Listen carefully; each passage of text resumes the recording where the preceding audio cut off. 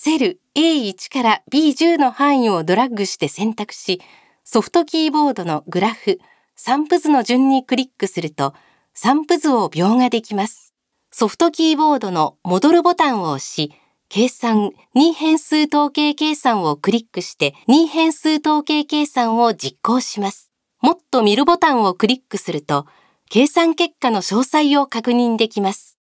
次に、セル A1 から B10 の範囲をドラッグして選択。ソフトキーボードの回帰、一次回帰の順にクリックして、一次回帰のグラフ描画と計算結果を表示することができます。そのまま二次回帰をクリックすると、二次回帰グラフの描画と計算結果を表示することができます。もっと見るボタンをクリックして、それぞれの詳細を確認することができます。